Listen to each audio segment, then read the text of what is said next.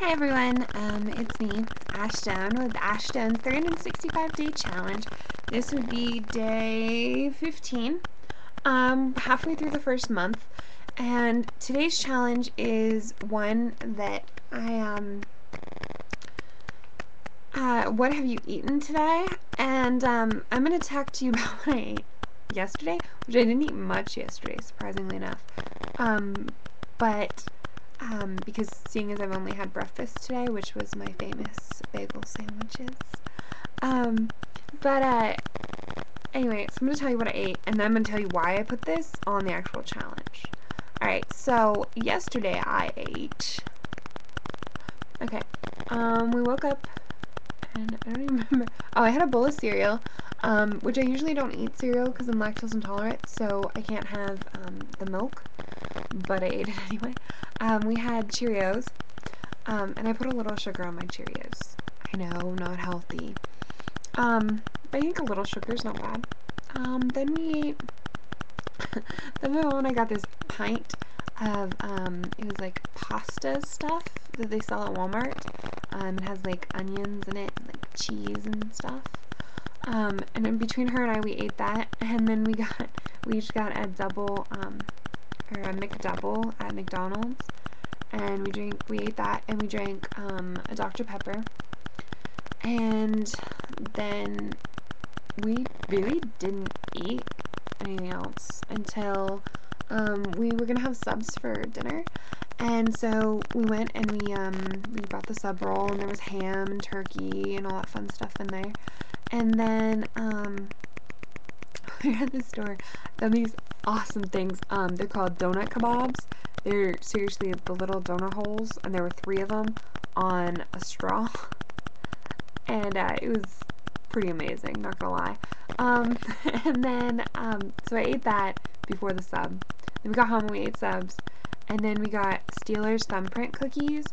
I love thumbprint cookies. If you don't know what a thumbprint cookie is, it's they took um, regular sugar cookie dough and then they put um, sprinkles in it and they mix it all around kind of and then they like bake it with the sprinkles in it and they push down on it with their thumb and then they put the in the where you push down on the thumb which is why they're called a thumbprint cookie um, they put frosting and the Steelers ones had um, black and orange sprinkles on them and I think it was supposed to be yellow frosting, but it looked kind of orange. Anyway, um, so I ate a bunch of those. Um, and I actually finished those this morning. But, um, I think that's all I ate. And I drank, uh, Lipton. Oh, Lipton.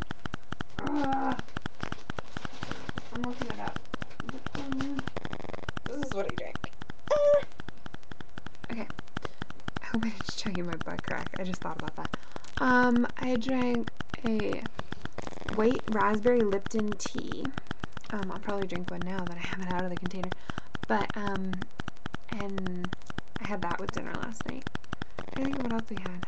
I think that's all we had. And then this morning I made my, um, I usually use onion bagel, but we couldn't find any at Giant Eagle. Um, so we had plain bagels, and then, um, I, I fry up an egg, and then I put Canadian bacon, or bacon, depending on the day. Today was Canadian bacon. And then I get this, it's this cheddar cheese with, um, with bacon in it. And I put that on, and then it all melts together. And, um, everybody I make them for puts butter on it, which I'm not a big, huge butter fan on just everything, so I didn't put any on there. But, um, oh, I had toast yesterday with my cereal, too. Just thought of that. Um, anyway, so I didn't eat very healthy yesterday. Um, but, uh, and I had a Mountain Dew. A Mountain Dew throwback this morning. I think that's all I've eaten. It is definitely like 2.30 in the afternoon and I'm still in my PJs. Um, I'm gonna be honest with you, I have nothing, like, that I'm actually supposed to do today. Well, should work on my resume, but I don't really want to. Anyway, so, um, so that's, that's what's up. That's what's going on. Um, hmm. Yeah. Uh, I put this on the actual, um, on the uh, on the challenge, I actually have a couple more times when you have to talk about what you ate, um, because um, one of the steps to eating better, to being healthier, um, you know, a lot of people are like, oh, I'm going on a diet because I'm fat, because I'm, you know, no, I think um, there's no such there's no such thing as a diet. I don't think there should be such a thing as a diet. Um, a diet is just die with a T.